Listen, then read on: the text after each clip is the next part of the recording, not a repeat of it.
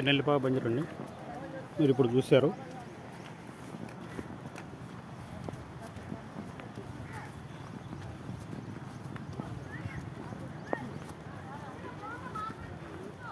మనం గమనించినట్లయితే అక్కడ కిల్లు కూడా కూలిపోయింది.